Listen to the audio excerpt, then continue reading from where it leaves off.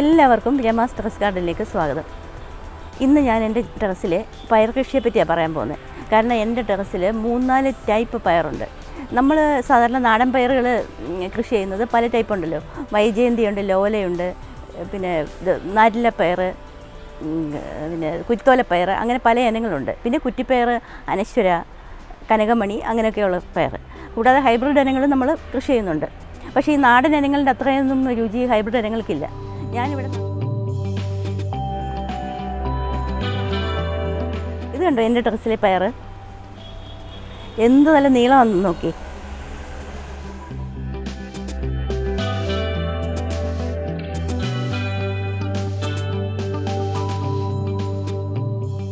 നമുക്ക് പയർ ഈസി ആയിട്ട് കൃഷി ചെയ്യാം പക്ഷേ കീടശല്യം ഭയങ്കര പയറിന്. എല്ലാവർക്കും പയ പയർ ഭയങ്കര ഇഷ്ടമാണ്. കാരണം ഈ പയർ നട്ടാൽ ഒന്ന് രണ്ട് ഗുണങ്ങളുണ്ട്. നമുക്കിതിന്റെ ഇല കറി വെക്കാം.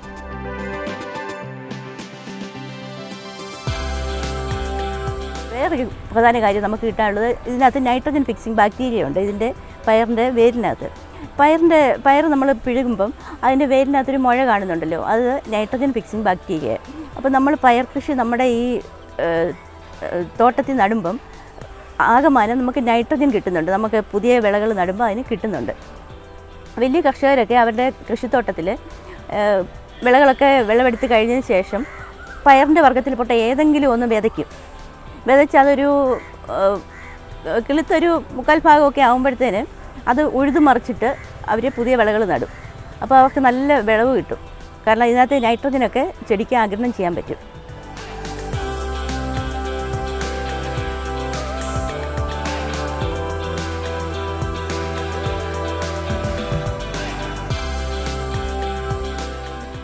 പയർ വിത്ത് പാകിയിട്ട് ഇത് നല്ല വിത്താണെങ്കിൽ ഒരു മൂന്നാം ദിവസം കിളിക്കും. ഇതിപ്പം മൂന്നാൽ ദിവസമായ പയർ ചെടികളാണ് കണ്ടോ? ഇത് രണ്ടാഴ്ച കഴിയുമ്പം വള്ളി വീശാൻ തുടങ്ങും. ഇതൊരു രണ്ടാഴ്ചയായ പയർ ചെടിയാണ് ഇതിന് നമുക്ക് പ്രത്യേകിച്ച് ഒരു വളം കൊടുക്കണം. ഇതിന്റെ ചോട്ടിലെ ഈ കളകളൊക്കെ ഒന്ന് നീക്കിയിട്ട് കുറച്ച് മണ്ണൊക്കെ ഇങ്ങനെ ഒന്ന് ഇളക്കി മാറ്റി കുറച്ച് എല്ലുപൊടി നമുക്ക് ഇട്ട് കൊടുക്കാം.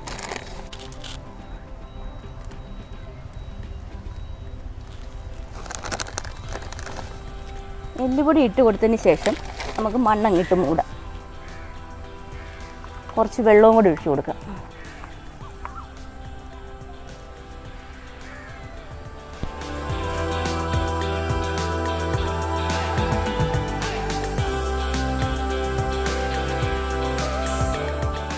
ഇത് പന്തലി കയറി പടരുന്ന പ്രായത്തിലുണ്ടല്ലോ. കുറച്ച് ഫിഷ് അമിനോസിൽ രണ്ട് മില്ലി ഒരു ലിറ്റർ വെള്ളത്തിൽ കലക്കി ചെടിയിൽ ആകമാനം തളിച്ചു കൊടുക്കണം. അപ്പോൾ കുറേ കൂടുതൽ പൂക്കൾ ഉണ്ടാകാൻ നല്ലതാണ് പിന്നെ ചോട്ടിൽ ഒഴിച്ചു കൊടുക്കണം ആഴ്ചയിൽ ഒരു പ്രാവശ്യം. അപ്പോൾ നമ്മൾ എല്ലുപൊടി ഇട്ടതിന് ശേഷം കടലപ്പിണ്ണൊക്കെ പുളിപ്പിച്ചൊഴിക്കണം ആഴ്ച രണ്ട് പ്രാവശ്യം. അത് അതും ചെടിയുടെ ആരോഗ്യത്തിന് ഏറ്റവും നല്ലതാണ് ഇത് കുറച്ച് കടലപ്പിണ്ണാക്ക് പുളിപ്പിച്ചതാണ് ഞാനൊരു മൂന്നാൽ ദിവസം കടലപ്പിണ്ണാക്ക് വെള്ളത്തിൽ ഇട്ടിട്ട് അത് പുളിച്ചു. അപ്പോൾ അത് നേർപ്പിച്ചിട്ട് ഞാനിപ്പോൾ ഇതിന്റെ ചുട്ടിലോട്ട് ഒഴിച്ചു കൊടുക്കുക. ഞാൻ ആഴ്ചയിൽ ഒരു രണ്ട് ദിവസം ഇത് ഒഴിച്ചു കൊടുക്കും.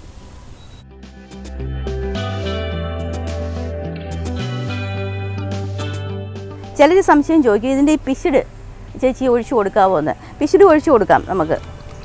അതിനൊന്നും ഒരു കുഴപ്പമില്ല.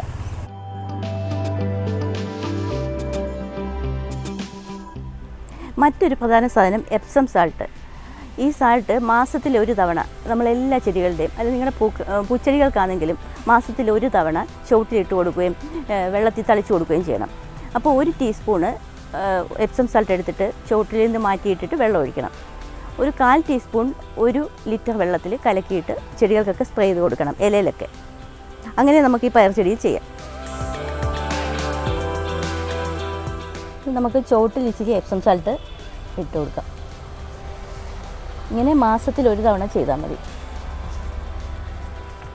എപ്സം സാൾട്ട് വെള്ളത്തിൽ കലക്കിയതായത് ഇത് നമുക്ക് ഈ ഇലയിലൊക്കെ ഒന്ന് തളിച്ചു കൊടുക്കാം. അപ്പോൾ ഇത് രാവിലെ ചെയ്യുന്ന നല്ലത് കേട്ടോ. ഇപ്പോൾ വൈകിട്ടൊക്കെ മഴയുള്ളതുകൊണ്ട് നമുക്ക് രാവിലെ ചെയ്യാം. കുറേ കഴിയുമ്പോൾ വെയിൽ ഉറയ്ക്കുമ്പോൾ ഇത് നല്ലതായിട്ട് ഇത് വലിച്ചെടുത്തോളൂ.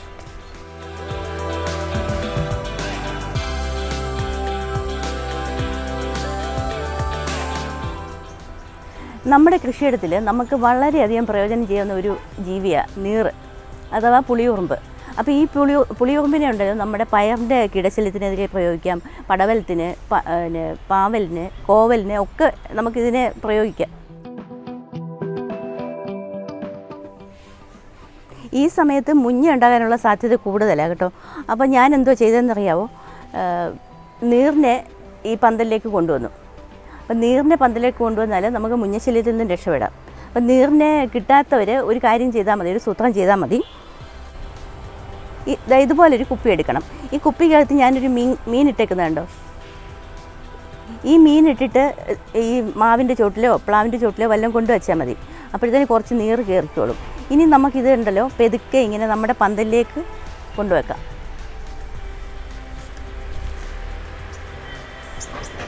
ഇങ്ങനെ ഒന്ന് വെച്ചാൽ മതി. കണ്ടോ? ഈ നീർ ഇവിടെ കയറി കൂട് കെട്ടിക്കോളും.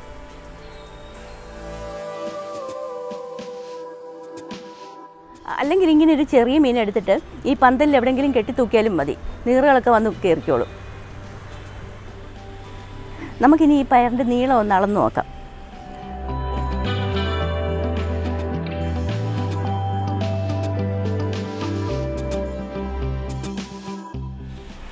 ഈ പയറിന്റെ ഒരു മൂന്ന് മൂട് മതി. നമുക്ക് ഒന്നര എട്ട് ദിവസം പയർ പറിക്കാൻ പറ്റും. പക്ഷേ അതോടൊപ്പം തന്നെ നമ്മൾ കീടശല്യത്തിനെതിരെയുള്ള കാര്യങ്ങൾ ചെയ്യുകയും ചെയ്യണം. കൃത്യമായിട്ട് വളം ഇട്ട് കൊടുക്കുകയും ചെയ്യണം. അതുപോലെ തന്നെ നല്ല വെളിച്ചവും കിട്ടണം. ഈ സൂര്യന് അഭിമുഖമായിട്ട് നമ്മൾ പന്തലിട്ട് കൊടുത്താൽ നല്ലതായിട്ട് വിളവ് കിട്ടും എന്നുള്ളതാണ് ഒരു കാര്യം.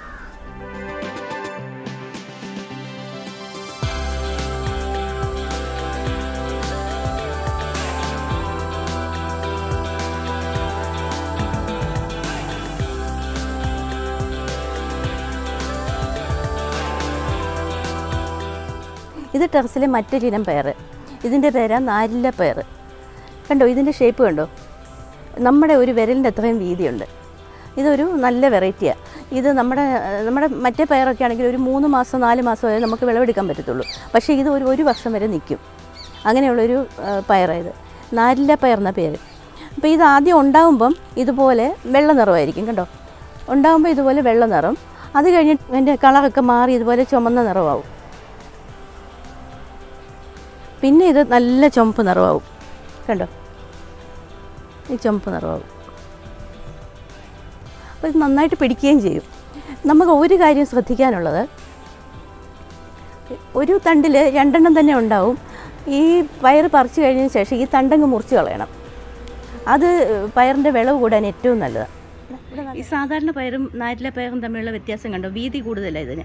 ഇതിപ്പോൾ നമ്മൾ കറി വെക്കാൻ പാകത്തിലുള്ള പയർ ഒട്ടും മൂത്തിട്ടില്ല. മൂത്തതായിട്ട് നമുക്ക് തോന്നും.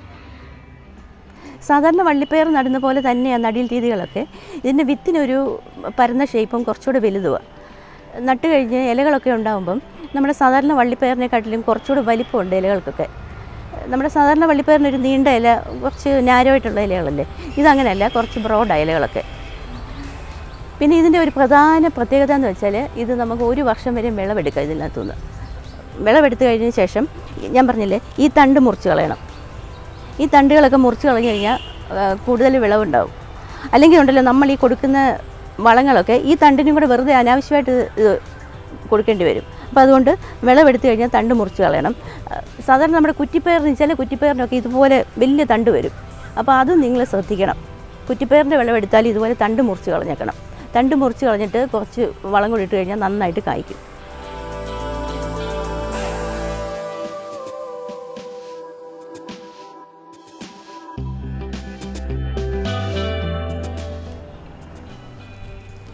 ഈ പയറിന്റെ ഒരു പ്രത്യേകത എന്ന് വെച്ചാൽ ഒരു നാട്ടറിവ. പയറിന്റെ വിളവ് കൂടാൻ വേണ്ടി നമ്മളിപ്പോൾ ഇതുപോലെ മൂന്നിലയുണ്ടല്ലോ പയറിന്. ഇതുപോലത്തെ രണ്ടില നുള്ളിക്കളയണം. കണ്ടോ? ഇതുപോലത്തെ രണ്ടില നുള്ളിക്കളയണം. നുള്ളിക്കളഞ്ഞു കഴിഞ്ഞാൽ ഈ ഇല മാത്രം നിർത്തിയേക്കണം. വിളവ് കൂടാൻ ഏറ്റവും നല്ലതാണ്